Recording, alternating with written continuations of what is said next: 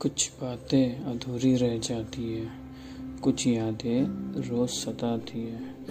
किसी की आहटें रोज सुनाई देती है, किसी का एहसास पास होकर भी नहीं होता। लकीरों में जो लिखा वो होना ज़रूर है। कर्म करो अच्छे, फिर भी ज़िंदगी का साथ खोना ज़रूर है।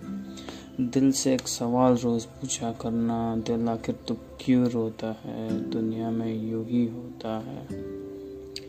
ये जो अकेलापन है, वक्त ने सभी को दिया है।